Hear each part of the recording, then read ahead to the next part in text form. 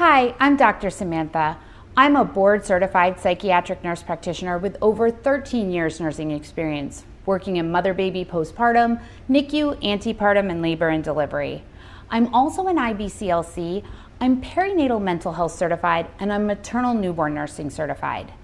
Bleeding is very scary during pregnancy, so understanding what the color of your bleeding means is very important.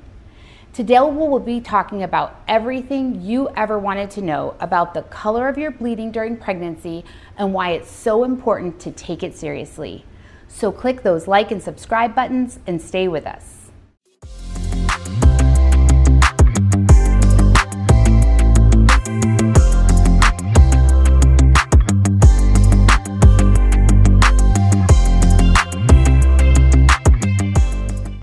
Red is the most common sign of bleeding. But when you're looking at bleeding during your pregnancy, there's bright red and there's dark red. So, bright red blood is a sign of active bleeding. The bleeding is fresh and the flow is steady. It's coming from somewhere right now. Dark red bleeding is bleeding that is slowing down. This is a sign that your bleeding is resolving. Pink is usually seen in spotting. This is when your blood mixes with cervical fluid. This can often be seen after having sex when bleeding can occur, especially early in your pregnancy. And so sometimes the pink is also blood mixed with semen. Brown is old blood. Brown blood can be sticky or thick. And the color range of brown can actually be from light brown to almost black. This is old blood. This is usually left over from an old bleed. A major reason why bleeding is so scary is because we are worried about miscarriage. But implantation bleeding is very common around the same time as miscarriages. So let's talk about the difference. Miscarriage bleeding is usually dark red in color, and there are visible clots or pieces of blood.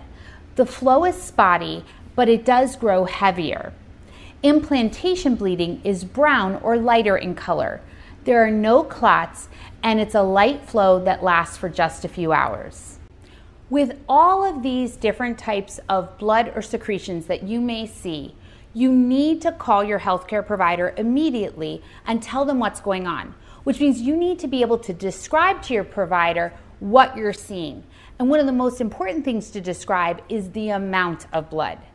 So in the healthcare field, your doctor may say, is the bleeding scant, light, moderate, or heavy? Scant means there's only a little bit of blood. You might actually only see it on the tissue when you wipe, or there's less than an inch on your pad in one hour. Light means there's less than four inches of a stain of blood in one hour on your pad. Moderate means there's a less than six inch stain in one hour. And finally, heavy means your entire pad has been saturated with blood in one hour. You may see other colors of discharge with your blood. This discharge may be spotted with blood, but it's definitely distinct.